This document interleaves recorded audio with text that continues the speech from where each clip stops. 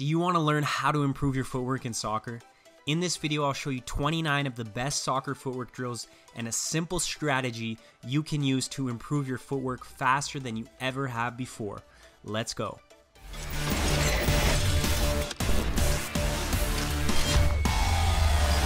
Even though I started playing soccer later than most of my peers, I was always one of the most technically skilled, especially when it came to my footwork.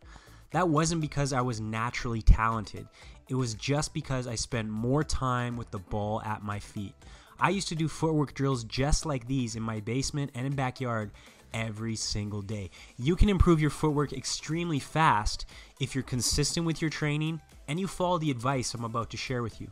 Watch this entire video because I will show you 29 of the best soccer footwork drills, some helpful tips to help you improve your skills faster, and a simple strategy you can use to guarantee results. If you don't know about me, I used to be a huge underachiever, but through obsessive self improvement, I found my success earned a college scholarship, played for my national futsal team, a YouTube channel with over 100 million views. I've helped players worldwide and I'd love to help you improve faster and achieve more. I want you to have incredibly fast and flashy feet, but you have to be effective on the field. For that reason, all of these drills will help you develop real skills that will help you get out of tight situations and beat defenders on the pitch. The drills progress from beginner to advanced, but never think you're too good for a basic drill. Even professionals practice the basics. In fact, what makes them so good is the quality at which they perform basic skills. At the end of the video, I'll give you a routine you can follow to get the most out of these drills, improve your skills as fast as possible, make your feet stand out in games, but most importantly, make you a more effective player on match day. Enjoy the video and please remember to hit that like button and share this on social media so we can inspire more players to improve faster and achieve more.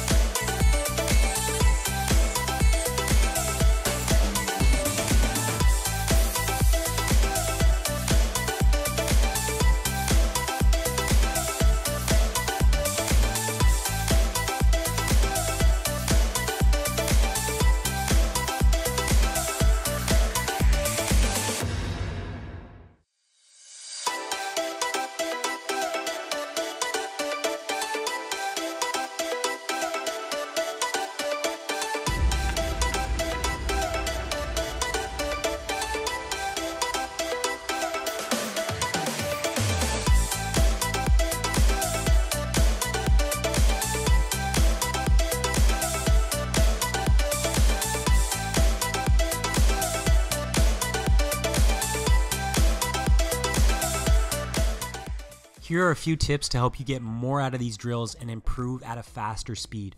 First, I want to talk about frustration.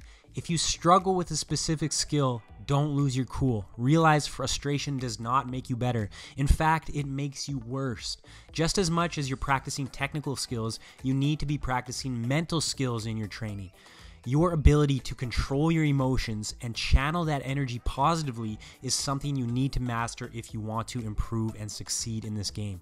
Instead of getting frustrated, breathe, compose yourself, remain focused, be persistent, never give up, tell yourself to keep going, and eventually you will get it. Always practice with both feet. You may find that your weaker foot doesn't feel the same as your stronger foot when you're performing these drills. Instead of giving up on your weaker foot, try to compare it to your strong foot. How do you hold it differently? Flex it, move it. Where do you touch the ball? In the beginning, it will feel weird, but by comparing your feet and trying to replicate the same movements in your weaker foot, over time, both of your feet will feel the same. When performing these drills, don't just focus on the quality of your touches, also focus on the quality of your body movement. If you look at the best dribblers in the world, yes, they have great skills, but what makes them extremely effective is usually their ability to control their body, keep balance, and change direction efficiently. Simply remind yourself to get lower to the ground, bend your knees, and be aware of your body as well as your touches. As always, I cannot just have you watch a video. I need you to get results. So here's what I want you to do in order to get faster feet. Number one, complete these 29 drills every day for a minimum of one week. Honestly, you would feel better after one session, but if you do it consistently for one week, you'll be feeling fast and effective on the field. Number two, perform each drill for 30 seconds. So that's about 14 and a half minutes of work. Rest 15 to 30 seconds between exercises depending on how you're feeling. You'll notice you'll get some great skill out of this training session, but you'll also get a lot of fitness, and that is a good thing.